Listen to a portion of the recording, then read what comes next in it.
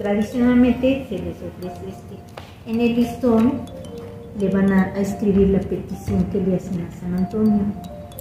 Una vez que se le escriben, le ofrecen su oración. Esta oración se realiza durante 13 días y por cada día de oración se le va haciendo un nudito. Los nudos son la cuenta de los días de las oraciones. La seda se le ofrecen a San Antonio, que se ahí. Y hay gente que pues vive cerca y viene diario a hacer su oración acá. Y ya una vez que terminan los 13 días, ya le cuelgan a San Antonio su, su listón que les conceda lo que le pidieron.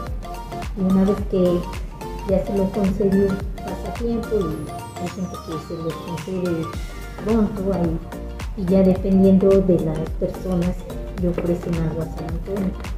Ya sea que vienen y hacen una misa para darle gracias, otros le traen flores, otros este, a veces dan una, una dádiva, una limosna y, pues ahora sí que cada quien es, sí como dicen, su posibilidad y lo que le quiere ofrecer.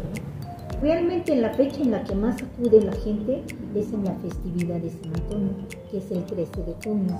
Ese día va a encontrar aquí de número de parejas, a veces nada más vienen las muchachas solas, los jóvenes eh, y, y, personas adultas que pues, tienen crisis en sus matrimonios y vienen a pedirle los fortalezca que el matrimonio